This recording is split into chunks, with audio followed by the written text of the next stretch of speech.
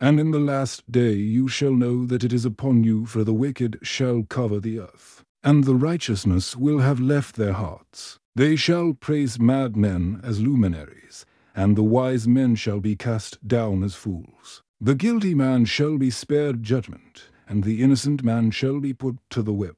The righteous man shall be condemned for the sins of the wicked. And God shall not be found in their hearts, nor have any place in their homes. And when the world has been filled with this injustice, until her cup be overfilled, when the blood of the innocent ones who know not of sin, the moment their blood touches the earth it shall cause an upheaval in the earth, that will swallow the children of God and all those who dwell in their lands. And this shall mark the end of the time of the Gentiles, as a great swarm of locusts shall pour from beneath where they stood, and they shall go forth, covering the earth to take away all those who bear the mark of the beast, and all those who bear the image and belief that God's name was found in.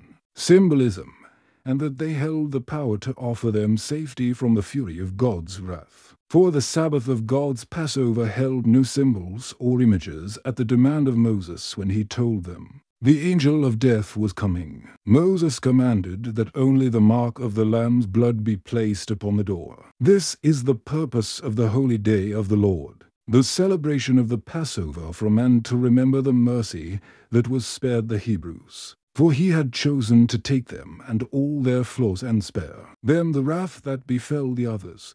Have you forgotten, children of Israel, the wrath of the Lord? who spared you from returning to the dust as befell Egypt. Do not disobey his command. If he says no conflict until the appointed time, then no conflict.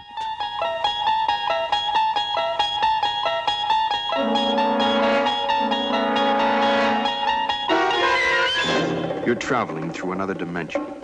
A dimension not only of sight and sound, but of mind. A journey into a wondrous land whose boundaries are that of imagination. That's the signpost up ahead. Your next stop, the Twilight Zone. Many times throughout history the lines between truth and political agenda of the ruling powers becomes obscure and difficult to tell what is real and what is not.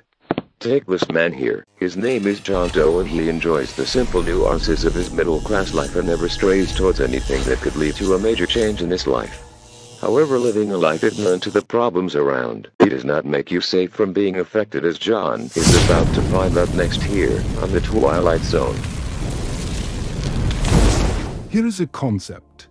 What if death itself is an anomaly? That life was something produced by a natural phenomenon of universal energies, but death. The end of life was something no meant or a part of its original design. What if the concept and process of death as we know it is statistically impossible and defies the laws of natural physics? Death of the body is only a transition of our multidimensional entirety of our beings. We have a spiritual form that exists in another dimensional configuration of particle structure and formation of matter. We have our astral form that also exists at a different frequency and particle formation in the physical and spiritual forms. Spiritual is the residual transition after the body dies but transforms into what exactly and where. The astral form is the transition of our life force before it takes on a physical form. But from once again, where does it come from?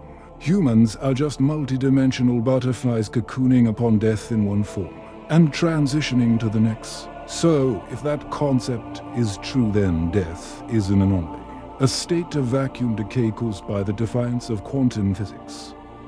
Now, can you guess why I have brought this subject up? Certainly, because it is my personal belief through experience that if someone can focus on the very foundation of reality's principles and connect their mental image of its process to the flow of everything from them, then that person can extend himself beyond the physical universe and take a step into the background of realities formation. I'm doing this so that I can take a step into somewhere you all call heaven so I can go and beat someone's us for playing with me like I'm a puppet and making me look like a fool. So, if you'll excuse me, I have an angel's wings who I need to rip off. And wear like a new Speedo fashion trend. Ready. Oh Fight.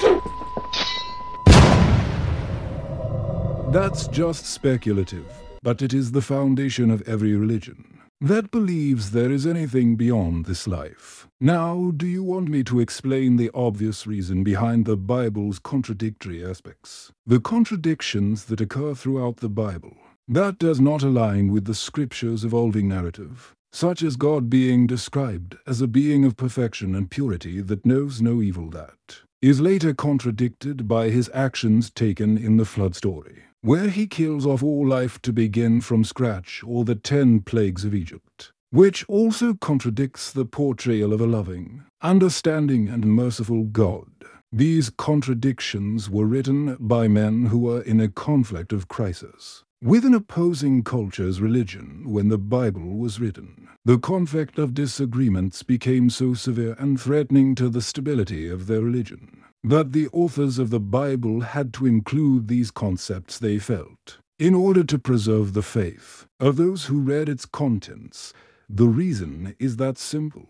You just have to be paying attention and learn what you're reading about. From more than just the mainstream sources. Learn the background so that you have a better insight into what you learn. So you don't end up a mindless zealot like many others I've met. I understand your perspective on the contradictions present in the Bible.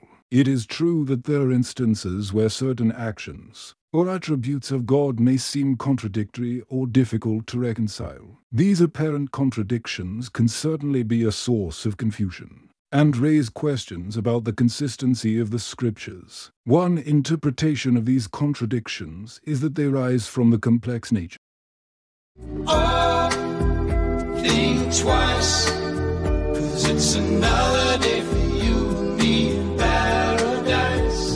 Of religious texts, the Bible is a compilation of writings from different authors, written over a span of centuries, and reflecting various cultural, historical, and theological contexts. These diverse perspectives can lead to differences in the portrayal of God and the events described. Regarding the examples you mentioned, such as the flood story and the ten plagues of Egypt. It is important to consider the cultural and historical context in which they were written.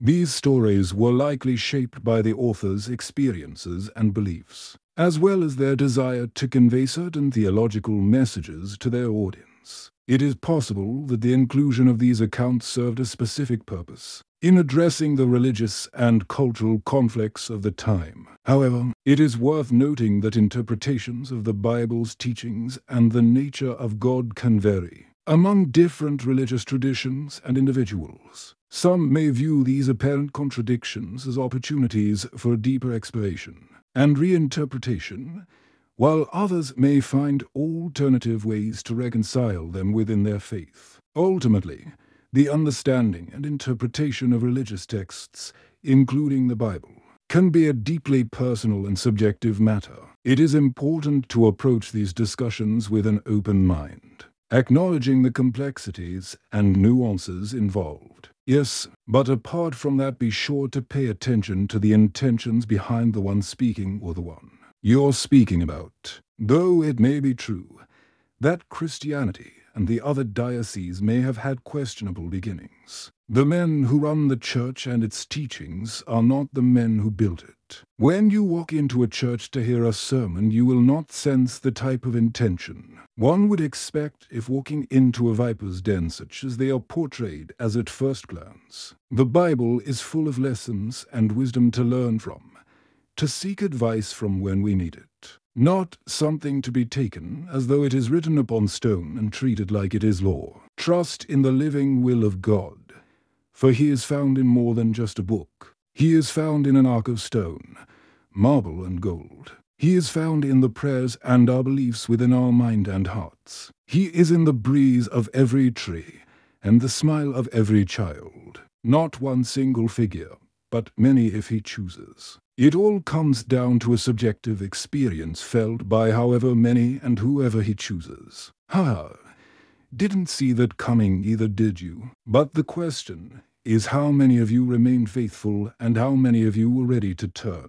Against me, is it not understood that in your faith towards God it is asked that you trust and accept God, as he has shown himself for you to understand? So where was your trust and acceptance that God would not bring down such harsh judgment upon those innocent because no one has been capable of knowing or understanding or able to look upon the face of God? I am not just another religion. I'm just a sculptor, a maker, a creator. That's all nothing more and nothing less.